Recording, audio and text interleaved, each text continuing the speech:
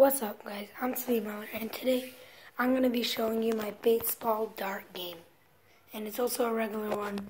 If you're new here, I am Svi Muller. This is just my mother's channel. And so that's it. It has that. And it also has a back. It's really cool. I got it at a place called Camelback Resort. And they have a um, a water park that's called Aquatopia, and I got it by their arcades.